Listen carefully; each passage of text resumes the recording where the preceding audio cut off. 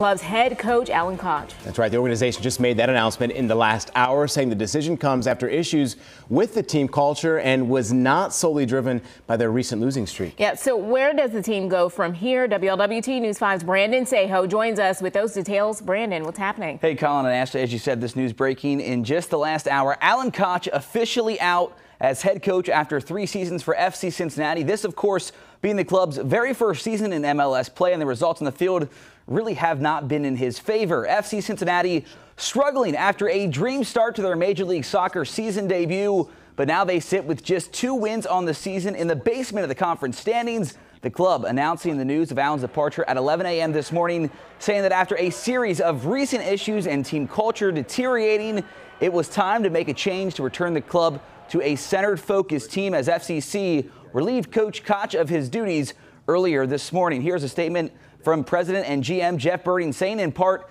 this decision is not driven by recent game results themselves, but rather the underpinnings that have led to those results, adding that they have not come close to maximizing the talent they have in that dressing room this year, nor have they seen a foundation being built that will set up the success for this year and years to come. Also saying our whole locker room is committed to our club earning their goal of an MLS postseason bid, and we need to put them in the best position to do so. And Jeff Berding will meet with the media this afternoon at 2 downtown to discuss Alan's departure in detail. The club says an international search has already begun for a new head coach. FCC's next game is right here at home on Saturday, but we have plenty of new details on this breaking news online and later tonight beginning at 5. All right, Brandon, thank you for bringing